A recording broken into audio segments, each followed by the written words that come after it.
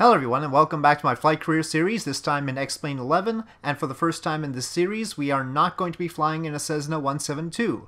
Instead, I'm going to be test flying the Aerobask Robin DR401, and this is a freeware plane made by a publisher that normally publishes payware planes, but they've released this free on the uh, xplane.org forums, and so I'm just going to try it out. It is within the class that I've been flying. Uh, it is a fairly light uh, general aviation plane, and uh, we'll see how it works out. Maybe I'm test flying it to see if uh, I should purchase it for my little organization. Uh, technically, with a private pilot license, by the way, you're not allowed to do commercial activities, but let's just keep that quiet between us. so anyway, we'll we'll get to that. I'll I'll log enough flight hours so that I and uh, I'll take the other lessons up in Seattle, so that I can uh, become a proper commercial pilot.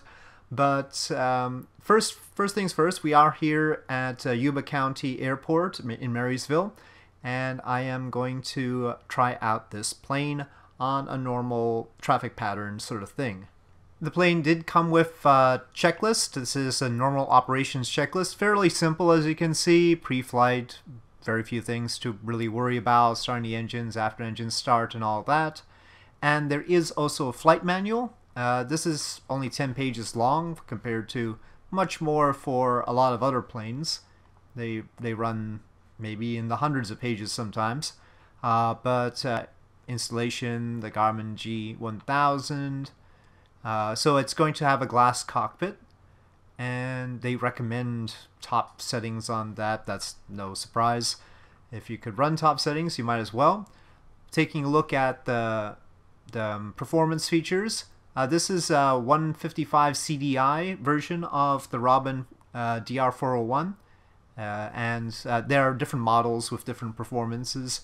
This is about, about mid-range, I guess.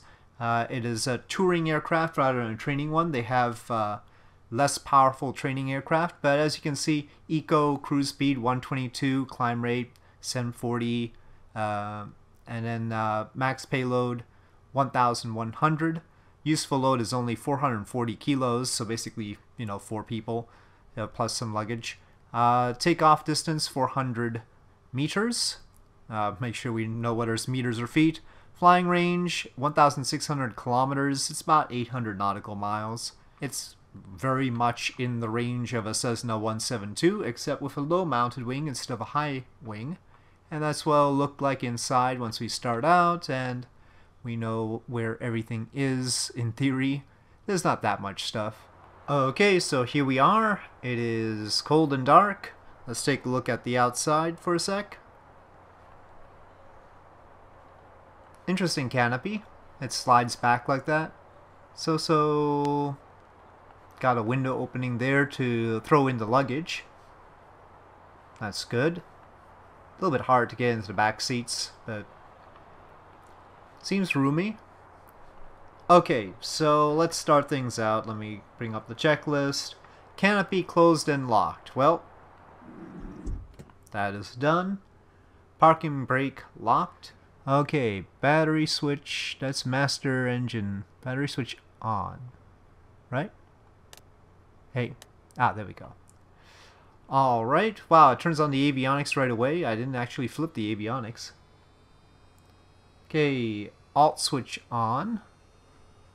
Yeah, we probably, come on. Oh, you have to actually pull it up, okay. Alternator is on.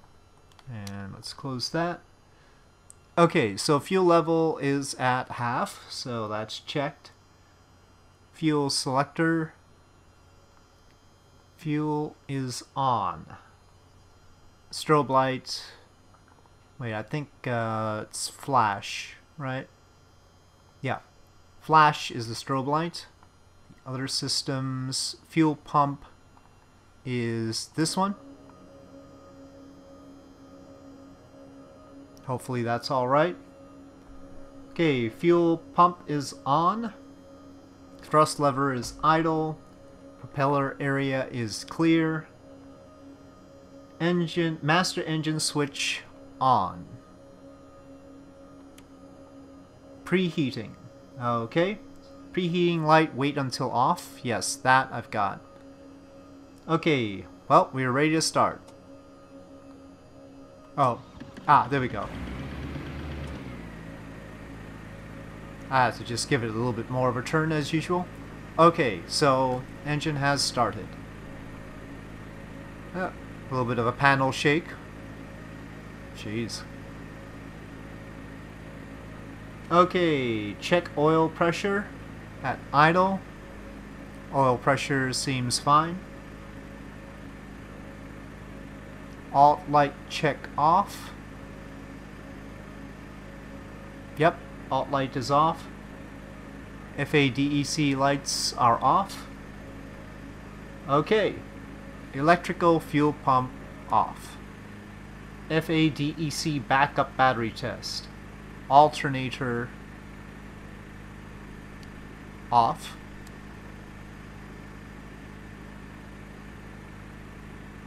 And battery off. Well, that wasn't right. Right. Maybe we shouldn't check the alternate battery? Okay, well, I'm gonna take it. I'm not gonna try and check the alternate battery because I'm not entirely sure I know how. Okay, avionics power switch on.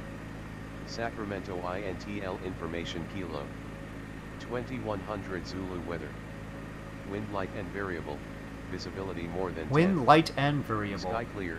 Temperature 28. Voltmeter 2.10. check in green range. It is Altimeter green. 2995.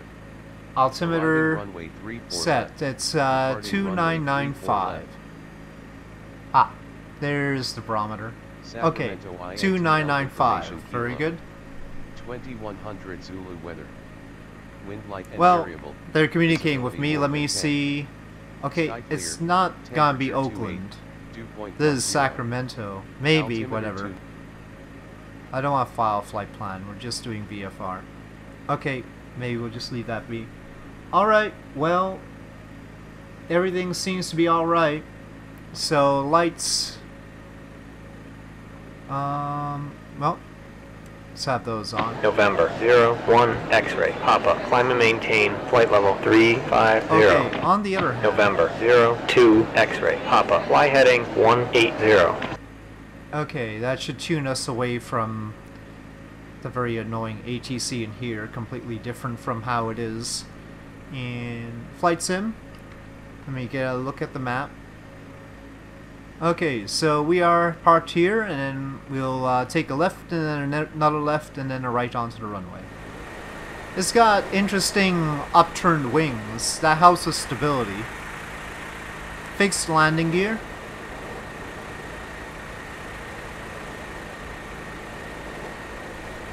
It certainly has a Robin-esque feel to it, so I feel like it's appropriately named.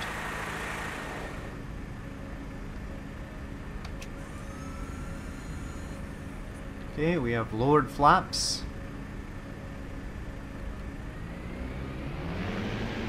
And we have throttle.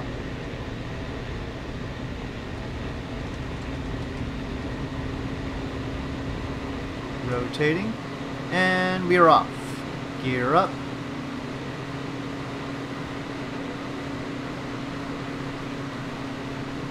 And flaps up.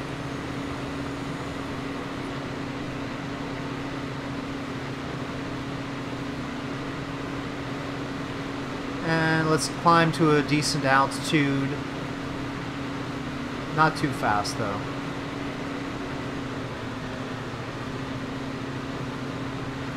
So, this is the Yuba City environs in X-Plane 11.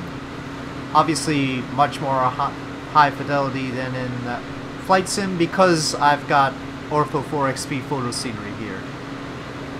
Yeah, looking pretty good here.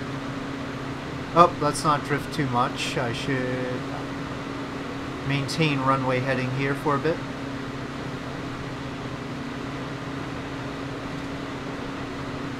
Eighty-five knots seems to be about right for this plane as far as climbing right now. I know the manual said that a different uh, velocity was good for climbing, but I'll go with this.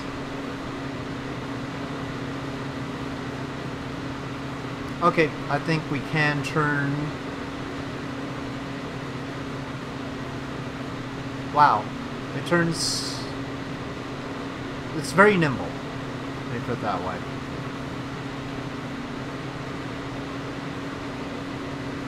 And actually we should be at, it was 32, so 23. It's about where we need to be.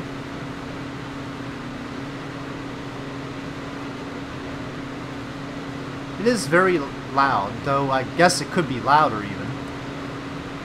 We've got a persistent roll to the left, so I might actually put some aileron trim in.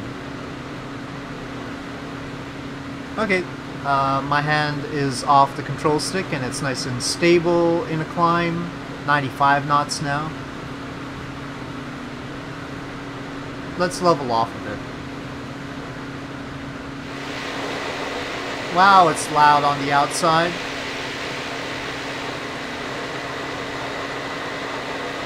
So that's Yuba City.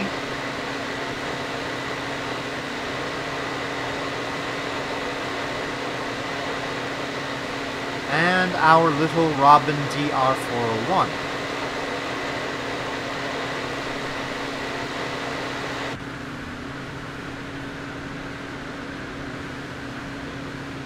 Still drifting higher here.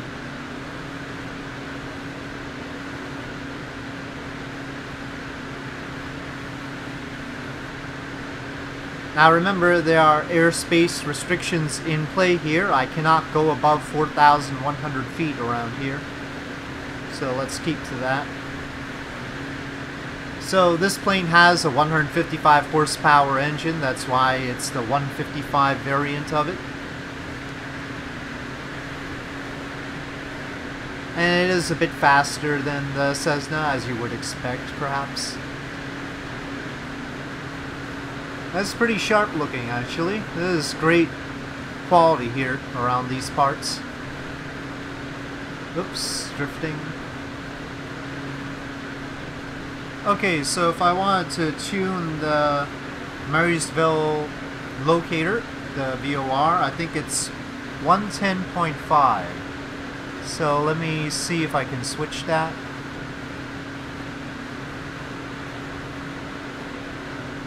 Okay, there we are.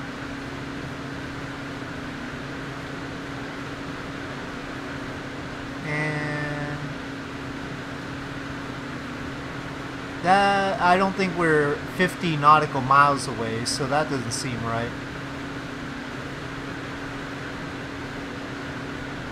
Oh, it's that's the GPS. It's still reading that we want to go to well, somewhere else. I don't think that's right at all. Yeah, Nav1 is the DME I wanted. I'm not doing as good a job as far as keeping this plane within my specified altitude right now. Or my heading.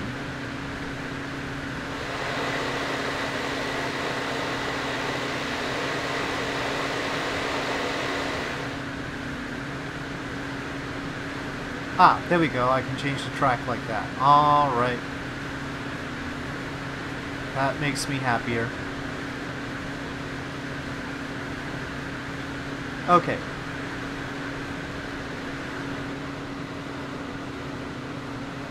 Okay, but seriously, the sound is really loud. So let's see. I mean, as you can see, I've already got the sound tuned down by quite a lot. So put those lower. Okay, let's see. Well, that's better. It's like for each plane I have to do it separately.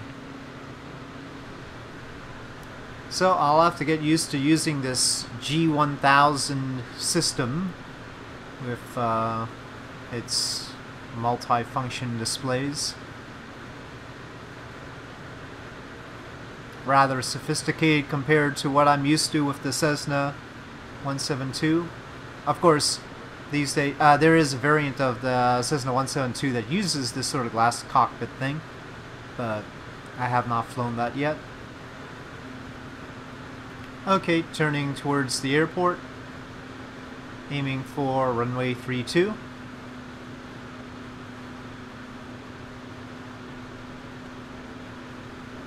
And actually we see we're a little bit off there and quite high. Yep, I see a train on the tracks there.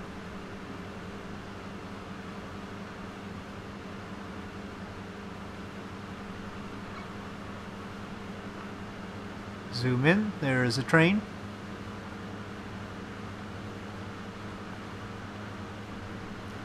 Shouldn't get distracted though. There doesn't seem to be PAPI lights in this direction, is there?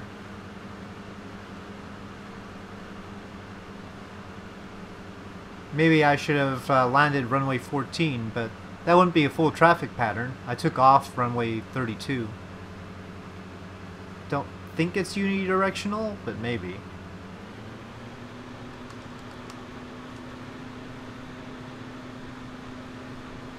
We're just barely beating out the train there.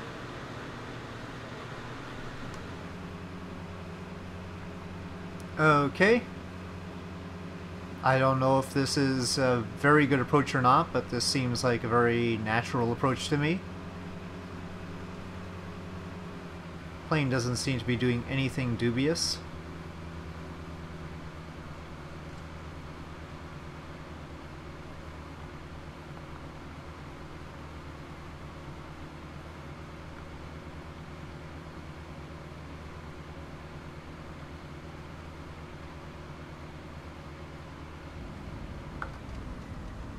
Okay, brakes on.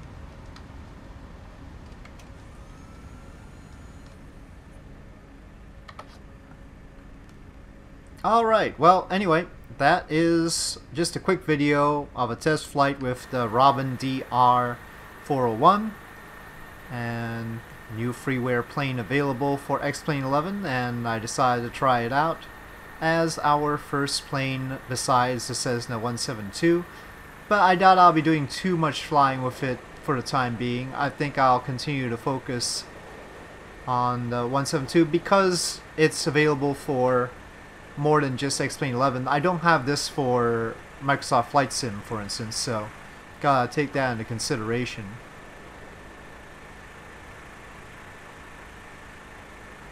It looks good though. It's it's a cute little plane.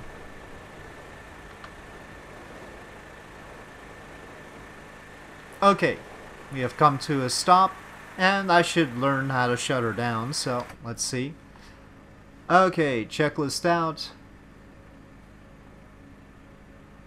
Climb, cruise, yes, we've done all those things. We didn't need a short landing, you just used one notch of flaps. Okay, after landing, electric fuel pump off. I probably should have had that off anyway. Wing flaps up. Yeah. So apparently they put the electric fuel pump on before approach. And I was supposed to turn it off during flight, but I kept it on during the entire flight, which is not good. Okay, I believe my brake is set anyway. Thrust lever idle. And now they want me to put the wing flaps down for engine shut off, so okay. Avionics off. Engine master switch off. After the engine stops, battery off. And apparently that's it for the shutdown of the plane. Uh, though I don't know if they want the fuel toggle switch off. That might be a good idea. And they didn't mention the alternator, but probably have that off too. And why don't we have that on stop? uh, I probably should have had the starter on stop anyway. I don't know for sure though. Okay. And the strobe lights should be off. They, they didn't include those in the engine shutdown procedures. And there is no other page. Okay. Anything else? I probably should. Oh yeah, these should be off. Alright, I think now it's basically in the same state it was when I started it up. So that's good. Alright, so there we have it. Just a quick video on the Robin DR401. And as I open up the cockpit and get out, I'll say thank you for watching. I hope you enjoyed this video. If you did enjoy this video, please do press like. If you have any comments or suggestions, please leave them in the comment section below. And I'll see you next time.